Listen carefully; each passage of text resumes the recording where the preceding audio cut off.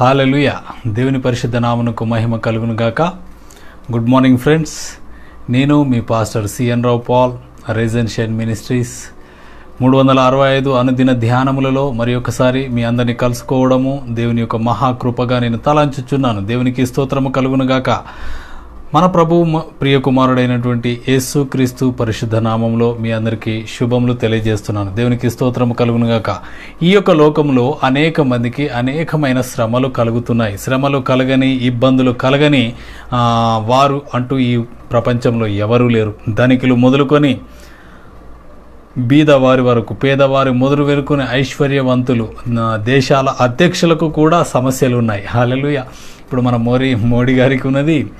కేసీఆర్ గారికి కూడా సమస్యలు ఉన్నాయి అనేక మందికి ఏదో ఒక విషయంలో ఏదో ఒక సమస్య ఉంటున్నది. మనందరికీ ఒక సేయింగ్ ఉన్నది కదా ఎంత చెట్టుకు అంత గాలి. ఎంత ఎంతటి వారికైనా అంతటి సమస్యలు అయితే వారికి ఉన్నాయని సమస్యలు లేని వారు ఎవరు లేరని ఆ యొక్క బాధలు శ్రమలు ఇబ్బందులు ఇవి ఏవి లేని వారు ఎవరు లేరని మనమైతే చెప్పవచ్చు. దేవునికి స్తోత్రము కలుగును కాక ఎందుకనంటే శ్రమ కలుగుతుంది. శ్రమ కలుగుతుంది. బాధ కలుగుతుంది వేదన కలుగుతుంది ఇవన్నీ కలుగుతుంది. కానీ ఇప్పుడైతే ఆ యొక్క శ్రమలన్నింటిలో నుండి మన దేవుడు మనల్ని తప్పిస్తానని చెప్పి వాగ్దానం చేసినాడు. ఆయన ఎంతైనా నమ్మదగిన దేవుడయించున్నాడు. దేవునికి స్తోత్రము కలుగునుగాక ఆయన మన శ్రమలన్నిటిలో నుండి ఆయన మనల్ని తప్పిస్తాను అని చెప్పేసి అంటున్నాడు. మన బాధలన్నిటిలో నుండి విడిపించదును అని ముప్పై నాలుగు నాలుగో వచనము కీర్తన గ్రంథంలో మనము చూడవచ్చు. దేవునికి స్తోత్రము కలుగునుగాక ఎస్ ఆయన మనల్ని విడిపించే దేవుడాయించున్నాడు. మనల్ని రక్షించే దేవుడాయించున్నాడు. దేవునికి స్తోత్రము కలుగును గాక. ఈ దినంలో ఈ కరోనా వైరస్ అని తెగులని మిడతలని కప్పలని అనేకమైనటువంటి ఈ యొక్క తుఫానులని సునామీలని ఎన్నెన్నో భయాలు ఎన్నెన్నో ప్రాంతాలను ఎన్నెన్నో దేశాలను అతలాకుతలము చేస్తున్న ఈ పరిస్థితుల్లో భయం ఆవరించుచున్న సమయములలో ప్రభు సెలవిస్తున్నాడు భయపడకుడి కలవరపడకుడి విస్మయం పొందకుడి జడియకుడి మీ హృదయములను వెరవనీయకుడి అని చెప్పి ప్రభు సెలవిస్తున్నాడు. దేవునికి స్తోత్రము కలుగునుగాక. అవునండి. దేవుని ప్రజలతో దేవుడు తన వాగ్దానాన్ని తెలియజేస్తున్నాడు. దేవునికి స్తోత్రము కలుగును గాక. మన పిల్లలు భయపడుతూ ఉన్నప్పుడు వారిని దగ్గరికి తీసుకొని భయపడకు నాన్న అని చెప్పేసి అంటాం కదా. అవును అలాగే మన పరలోకపు తండ్రి మనల్ని కూడా తన కౌగిటిలోనికి చేర్చుకొని భయపడకు. దిగులు పడకము. యుగ సమాప్తి వరకు సదాకాలము నేను నీకు తోడా ఉన్నాను అని చెప్పేసి తన వాగ్దానాన్ని మనకు తెలియజేస్తున్నాడు. దేవునికి స్తోత్రము కలుగును గాక. మంచిది ఈ సమయంలో చూసినట్లయితే ఈ భయములు కలిగి ఉన్నటువంటి ఈ యొక్క పరిస్థితుల్లో ప్రభు ఏమని సెలవిస్తున్నాడు? ప్రభు తన మాట తన ప్రజలతో ఏమి సెలవిస్తున్నాడు? దేవునికి స్తోత్రము కలుగును గాక. ఆయన తన ప్రజలకు వాగ్దానము చేస్తున్నాడు. దేవునికి స్తోత్రము కలుగును గాక. ఇక్కడ కీర్తనల గ్రంథము నూట నలభై నాలుగవ కీర్తన పదిహేనవ వచనం. ఇట్టి స్థితి గలవారు ధన్యులు యహోవా తమకు దేవుడుగా గల జనులు ధన్యులు. దేవునికి స్తోత్రము కలుగును గాక. యహోవా దేవుడుగా గల జనులు ధన్యులు. అవును దేవుడు పరలోకమందున్న దేవుడు దేవుడుగా గల జనులు ధన్యులు. దేవునికి స్తోత్రం కలుగును గాక. అందుకని ఇక్కడ యహోవా యహోవా తమకు దేవుడుగా గల జనులు ధన్యులు. అన్ని దేవుళ్ళు ఒకటే అని చెప్పేసి ఒక స్లోగన్ ఉంటుంది. కాదు కాదు కాదు కాదు. యేసు క్రీస్తు నిజమైన దేవుడు. ఆయన మాత్రమే నిజమైన దేవుడు కాబట్టి యేసుక్రీస్తునందు విశ్వాసం ఉంచి ఆయన దేవుడుగా గల జనులు ఎవరైతున్నారో వారు ధన్యులు. అందరు కనబడ్డోళ్ళు వీళ్ళు వాళ్ళు అందరు కాదండి. దేవునికి స్తోత్రం కలుగును గాక. ఆయన వారికి తన స్వాస్థ్యాన్ని ఇస్తున్నాడు. ఆయన వారికి భయపడవద్దని చెప్తున్నాడు. ఆయన వారి కొరకు చనిపోయినాడు. తన ప్రజల కొరకు చనిపోయినాడు. అందుకే వారు ధన్యులని సెలవిస్తున్నాడు. దేవునికి స్తోత్రము కలుగును గాక. కాబట్టి ఆ యొక్క ధన్యతను గురించి మనం ధ్యానించినప్పుడు అనేకమైనటువంటి మనము భయాలన్నీ కూడా పారిపోతాయని ఈ యొక్క సమయంలో నేనైతే చేయగలను తెలియజేయగలను. దేవునికి స్తోత్రం కలుగును గాక. ముప్పై మూడో కీర్తనలో చూడండి. ముప్పై మూడవ కీర్తన పన్నెండవ వచనం చూసినట్లయితే యహోవా తమకు దేవుడుగా గల జనులు ధన్యులు. ఆయన తనకు స్వాస్థ్యముగా ఏర్పరచుకొను జనులు ధన్యులు. ఆయనకు స్వాస్థ్యముగా ఆయన సొత్తుగా. ఆయన సొత్తుగా ఎవరైతే జనులు ఉంటారో ఏర్పరచుకు జనులు ఉంటారో వారు ధన్యులు అని చెప్పేసి దేవుని యొక్క వాక్యము సెలవిస్తున్నది. దేవునికి స్తోత్రము కలుగును గాక. అలాగే అరవై ఐదు నాలుగు చూడండి. అరవై ఐదవ అధ్యాయము నాలుగవ వచనం. నీ ఆవరణములలో నివసించున్నట్లు నీవు ఏర్పరచుకొని చేర్చుకునివాడు ధన్యుడు. నీ పరిశుద్ధాలయము చేత నీ మందిరంలోని మేలు చేత మేము తృప్తి పొంది ఉన్నాము దేవునికి స్తోత్రము కలుగున నీ ఆ మందిరములలో నివసించినట్లుగా. ఇప్పుడు చూసినట్లయితే ఈ యొక్క కరోనా ఎఫెక్ట్తోని దాదాపుగా మార్చి లాస్ట్ వీక్ నుండి ఆ కంప్లీట్ లాక్డౌన్తోనే ఇళ్ళలోనే ఆరాధన అవుతుంది. ఆ సమూహ ప్రార్థనలు కానీ సమూహ ఆరాధన కానీ ఏక మనసుతో ఆ యొక్క మేడ గదిలో నూట ఇరవై మంది ఆ, ప్రార్థించినప్పుడు ఆ యొక్క ఆ పరిశుద్ధాత్మ అభిషేకము దిగి రావడము అవన్నీ మనము ఇప్పుడు మనకు చాలా రోజులుగా ఆ యొక్క పరిశుద్ధాత్మ సహవాసము సన్నిధి దేవుని యొక్క కాంతి మందిరములోని మేలు మనకెవరికి దొరకడం లేదు. ఈ యొక్క ఆరాధనలో దేవుని యొక్క సన్నిధి ఎవరైతే వస్తారో దేవుని సన్నిధికి ఎవరైతే వస్తారో వారిని దేవుడు దీవించి ఆశీర్వదిస్తానని దేవుడు తెలియజేస్తున్నాడు. నీ ఆవరణంలో నివసించున్నట్లు నీవు ఏర్పరచుకొని చేర్చుకున్నవాడు ధన్యుడు. దేవునికి స్తోత్రము కలుగును గాక yes we have that much of great privilege దేవుని సన్నిధిలో ఉండడం. దేవుని చేత పిలువబడడం. దేవునికి స్తోత్రం కలుగును గాక ఎనభై తొమ్మిదో కీర్తన పదిహేనో వచనం చూడండి. శృంగదలను ధ్వనుల నెరుగు ప్రజలు ధన్యులు. యహోవా నీ ముఖకాంతిని చూచి వారు నడుచుకొనుచున్నారు. దేవునికి స్తోత్రం కలుగునక మనం దేవుని సన్నిధికి ఎప్పుడైతే వస్తామో దేవుని ప్రజలు వస్తారో ఆయన ముఖ కాంతి ఆయన సన్నిధి కాంతి మన పైన ప్రకాశిస్తుంది. దేవునికి స్తోత్రం కలుగునుగా ఎస్ అందుకే మనం సహవాసంలోనికి రావాలి.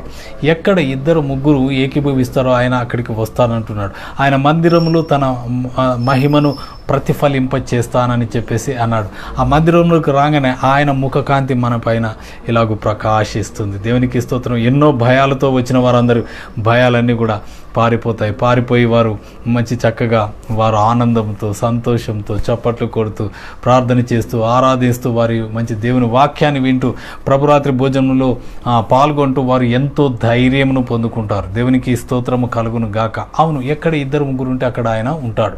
ఆయన తన సంఘముల మధ్య సంచరించే దేవుడు. అందుకనే యహోవా దేవుడుగా గల జనులు ధన్యులు. దేవునికి స్తోత్రం కలుగునగాక మీకు ఈ యొక్క ఈ యొక్క విషయం నేను తెలియజేయాలి. దిస్ ఈజ్ ద సీక్రెట్ అని కూడా చెప్పాలి. దేవునికి స్తోత్రం కలుగునగాక. దేవుడు తన ప్రజలతో నివాసము చేయాలని ఇష్టపడుతున్న దేవుడు. దేవుడే తన ప్రజలతో నివాసం చేయాలని తన ప్రజలతో ముచ్చటించాలని తన ప్రజలతో సహవాసము కలిగి ఉండాలని దేవుడే ఇష్టపడుతూ ఉన్నాడు. అందుకనే మొట్టమొదటి సృష్టి అయినటువంటి ఒక ఆదాము హవ్వలను కలుసుకోవడానికి ప్రతిరోజు చల్లపూట ఆయన పరము నుండి భూమికి దిగి వచ్చేవాడు. పరలోకం నుండి దిగి వచ్చేవాడు వీరితో మాట్లాడడానికి. అలా తన ప్రజలతో నివాసం చేయాలని ఇష్టపడుతున్నటువంటి దేవుడు. దేవునికి స్తోత్రం కలుగునుగాక అందుకనే ఆయన వారితో కూడా ఉన్నప్పుడు ఆ యొక్క నాలుగు వందల యాభై సంవత్సరాలు కూడా ఆ యొక్క చెరసాలలో ఉన్నప్పుడు ఆ యొక్క బానిసత్వంలో ఉన్నప్పుడు అక్కడ నుండి వారిని విడిపించినప్పుడు వారితో కూడా ఉన్నాడు. వారితో కూడా ఉండి వారితో కూడా ఉండి వారిని నడిపించుకుంటూ నలభై సంవత్సరాలు వారిని పోషించుకుంటూ వారిని నడిపించినాడు. వారు పగలు మేఘస్తంభంగా రాత్రి అగ్నిస్తంభంగా వారికి తోడుగా ఉండి వారిని నడిపించినట్టుగా మనము చూడవచ్చు. అందుకనే వారి శత్రువులందరినీ కూడా పారద్రోలినాడు. శత్రువులందరినీ ల- లయం చేసినాడు. వారికి ఎదురు తిరిగిన వారందరినీ కూడా సంహరించి దేవుడు గొప్ప కార్యములు చేస్తూ దేవుని యొక్క భయమును త చుట్టూ ఉన్నటువంటి ప్రజలందరికీ కలగజేసి వారిని రక్షించి దీవించి వారిని ముందుకు నడిపించినట్టుగా చూడవచ్చు. దేవునికి స్తోత్రము కలుగును గాక. ఆ యొక్క గాతువాడైనటువంటి గొలియాతు మొత్తం వాళ్ళు తొమ్మిది మూరల ఎత్తున్నటువంటి వారిని కూడా హతం చేసి దేవుడు వారికి నెమ్మదిని సమాధానమును కలుగజేసినట్టుగా మనము చూడవచ్చు. దేవునికి మహిమ కలుగునుగాక కాబట్టి మనము దేవుని యొక్క దేవుని యొక్క సన్నిధి కాంతి కొరకు మనం చూడాలి. ఆయన సన్నిధిలో మనము నిలిచి ఉండాలని దేవు దేవుడు తెలియజేస్తున్నాడు. దేవునికి స్తోత్రం. అందుకనే యహోవా దేవుడుగా గల జనులు ధన్యులు ఆయన మనల్ని ఏర్పరచుకున్నాడు. ఇక్కడ చాలా క్లిష్టమైన పరిస్థితి. మనం ఆయనను ఏర్పరచుకోలేదు.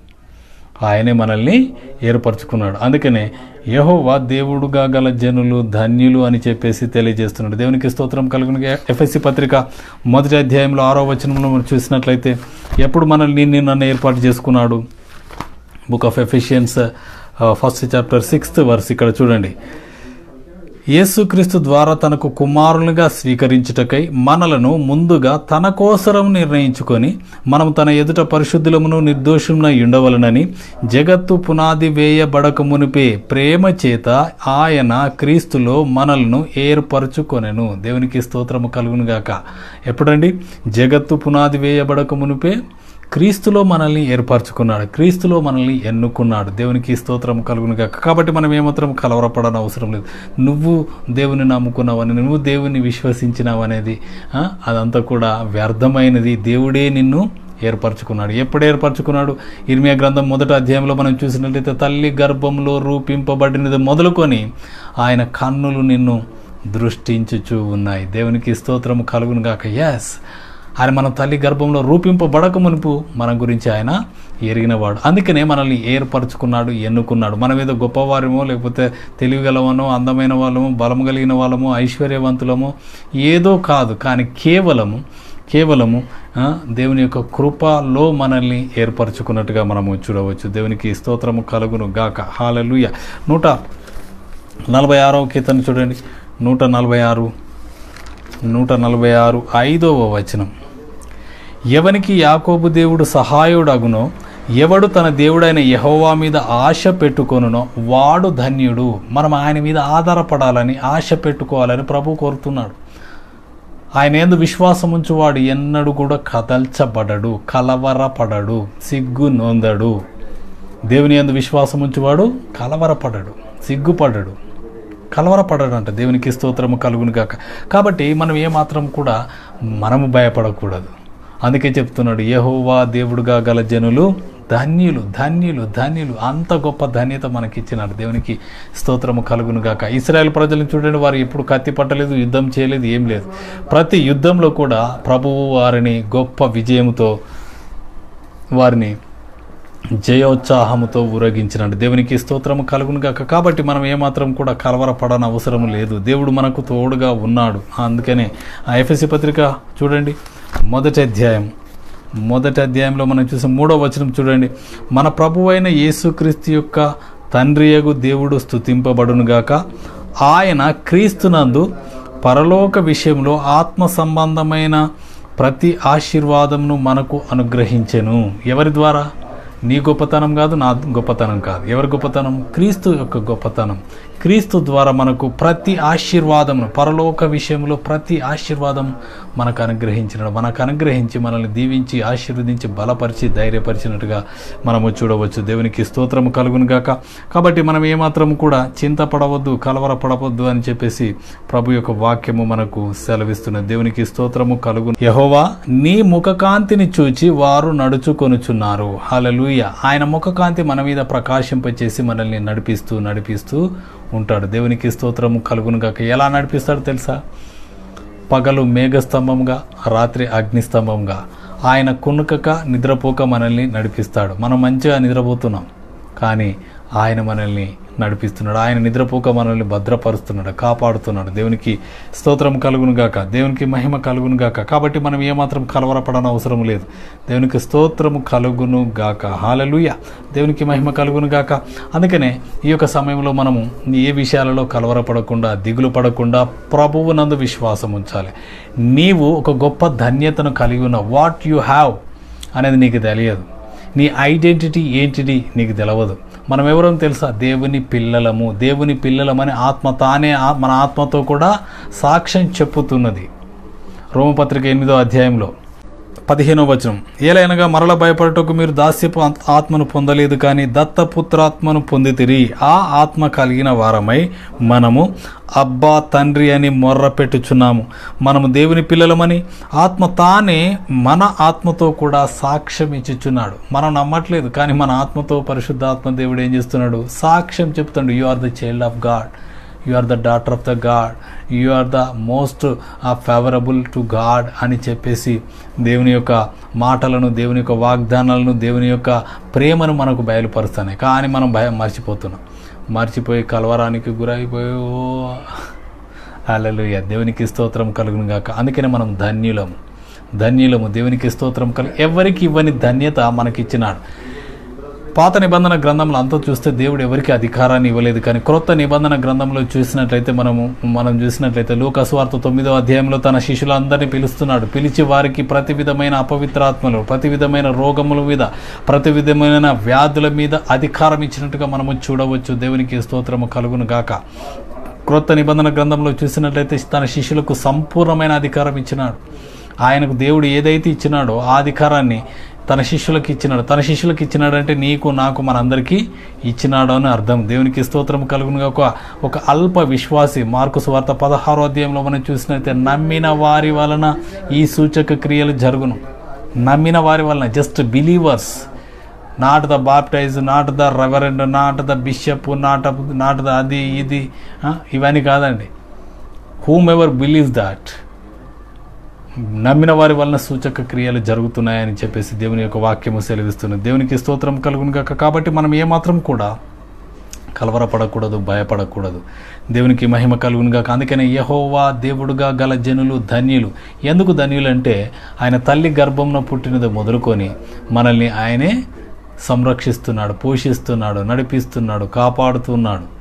మనల్ని బలపరుస్తున్నాడు ధైర్యపరుస్తున్నాడు. దేవునికి స్తోత్రంగా మన యొక్క సమస్యలన్నింటిలో కూడా భయపడకము అని చెప్పేసి మనకు తెలియజేస్తున్నాడు. దేవునికి స్తోత్రం కలుగును కాక అలాగే చూసినట్లయితే ముదిమి వచ్చు వరకు ఎత్తుకొను వాడను నేనే. చాలామంది వృద్ధులు అయ్యో ఇప్పుడు ఇక వృద్ధాప్యంలో నన్ను ఎవరు చూస్తారో అని చెప్పేసి భయపడుతూ భయపడుతూ భయపడుతున్నారు. దేవుని అందు విశ్వాసం ఉంచండి. ఆయన ఎంత మాత్రం కూడా నీకు అవమానము కలగనియ్యాడు దేవునికి స్తోత్రం. ఆయన నీకు తోడుగా ఉంటాడు. ముద్ది మీ వచ్చు వరకు నిన్ను ఎత్తుకొని వాడను. నేనే అనే వాగ్దానమును ఎత్తిపెట్టి ప్రార్థన చేయండి. దేవుడు అద్భుత కార్యాలు చేసి మీకు ఆ యొక్క మార్గంలో తెలియజేస్తాడు. దేవునికి స్తోత్రం కలుగునుగాక. అందుకనే మనము సంతోషంగా మనం ఉండాలి. పౌలు భక్తుడు అంటాడు అక్కడ చెరసాలలో ఉన్నాడు బందీఖానాలో ఉన్నాడు జైలులో ఉన్నాడు. ఉండి ఏమంటున్నాడు? లెటర్ రాస్తున్నాడు ఏమని ఫిలిపి సంఘానికి రాస్తున్నాడు. ఆనందించుడి మరల చెప్పుదును ఆనందించుడి జైల్లో ఉండి ఆనందించడం ఇంద్ర బాబు? ఎస్ దేవుడు యహోవా దేవుడు గగాల జనులు ధన్యులు. ఎవరికి లేని ధన్యత మనకున్నది కాబట్టి మనము దేవుని యొక్క కృపలో మనం భద్రపరచబడుతున్నామని చెప్పేసి ఆనందించమని చెప్తున్నాడు. దేవునికి స్తోత్రం కలుగును గాక. ఈ యొక్క ఉదయకాల సమయంలో మనం కూడా బలపరచబడదాం. ప్రార్థన చేసుకుందాం. థ్యాంక్ యూ లాడ్ నీకే వందనాలు చెల్లించుకుంటున్నాం. దీవించి ఆశీర్వదించండి. యహోవా దేవుడుగా గల జనులు ధన్యులని సెలవిచ్చిన మా గొప్ప తండ్రి నీకే వందనాలు చెల్లించుకుంటున్నాం. మేము నమ్మదగని వారమైన మీరు నమ్మదగిన దేవుడుగా మమ్మలను తను కనికరించినందుకు స్తోత్రాలు చెల్లించుకుంటున్నాం. మమ్మల్ని దీవించి ఆశీర్వదించండి. మీ యొక్క తండ్రినైన ధన్యతలో నిత్య జీవములోనికి మమ్మల్ని నడిపించుమని నిరంతరం మాకు కాపుదలుగా ఉండి నడిపించుమని సమస్త ఘనత మీకే చెల్లించుకుంటూ ఏసు నామంన ప్రార్థిస్తున్నాం తండ్రి. Amen amen. God bless you. దేవుడు మిమ్మల్ని సమృద్ధిగా దీవించునుగాక.